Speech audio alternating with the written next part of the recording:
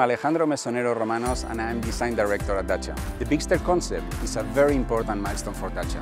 It epitomizes the evolution of our brand values, always essential, accessible, but now with a touch of coolness and an outdoor spirit.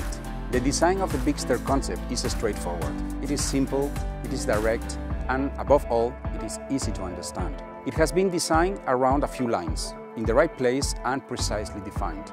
I believe that the beauty of the Bigster comes from the well balance of its proportions. The boundaries between the hood and the cabin are clearly defined, creating a kind of boxy and tough look that combines interior roominess with pleasant aesthetics. What I really like in this front end is the perception of width generated by its large grille that includes the Y-shaped headlamps, our new iconic light signature.